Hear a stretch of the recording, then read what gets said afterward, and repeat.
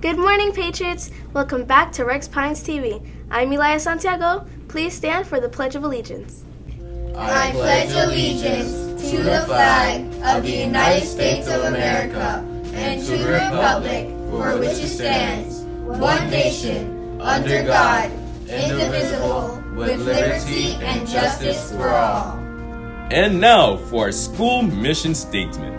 We the Patriots achieve greatness through high expectations, passion, and perseverance. Thank you. You may now be seated. Today is Monday, October 2nd, 2023. Now let's go learn something new about Hispanic heritage with Catherine. Thank you, Eli. Como estas, Patriots? Today we'll be talking about the beautiful moment in El Salvador. The monument to the divine Savior of the world is located in San Salvador City. It was created in 1942 to represent this country's past and heritage. This monument is very important to the country because it's what they value the most. In 1986, there was a disastrous earthquake that wrecked the monument. But because it was so precious to the country, they quickly fixed it up. Wow, I'd love to visit that monument one day. That was great. Now let's go to Samara for today's tasty lunch. Thank you, Catherine. Today's lunch is chicken tenders, turkey and cheese deluxe, hoagie, potato wedges, cucumber, mandarin oranges, and your choice of milk. Tomorrow's breakfast is bagel and cream cheese, frosted cornflakes, graham crackers, fresh orange, and your choice of milk. Students, please know that lunch menu can change at any time and to always bring your lunch card. And don't forget to inform your teachers if you will be receiving lunch today. Bon appetit, and now let's go back to the Elia. Thank you, Samara. That sounds delicious. For today's Hispanic Heritage activity, you can all take the time to practice your Spanish. I know you can do it.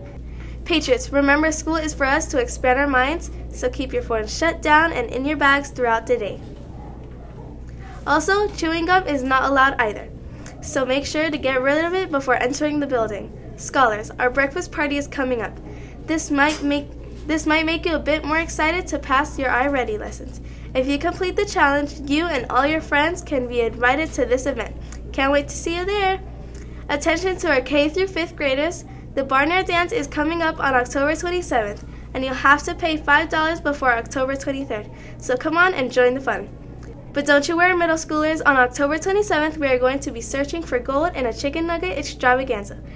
Remember, you cannot have any referrals throughout this month and have to pay $5 to participate.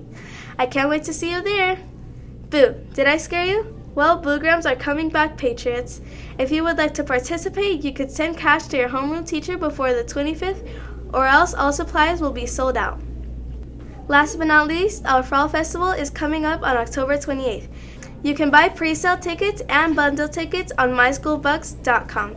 I can't wait to see you there. Patriots, the boys flag football and girls volleyball team has a game tomorrow against Aces. Good luck! Scholars, don't forget the NJHS meeting is today after school. Now let's go to Hadassah for today's weather. Hello, Patriots. Today's weather is 86 degrees Fahrenheit with scattered thunderstorms. Make sure to wear your raincoat. In other weather news, an asteroid had plunged straight into the Utah desert. The asteroid hit Utah on Sunday morning. It took this asteroid approximately seven years to come to Earth. Wow, what an amazing phenomenon. Now let's go to Ariel for the birthdays. Thank you, Hadassah. Today's birthday boy is Julio Guzman. Happy birthday. Let's go back to Elia. Thank you, Ariel. Patriots, here are your PATS expectations. It represents present yourself positively, act kindly towards others, treat the school's environment respectfully, and succeed at everything. Everyone at RPTV would like to wish you all a marvelous Monday. Have an awesome day.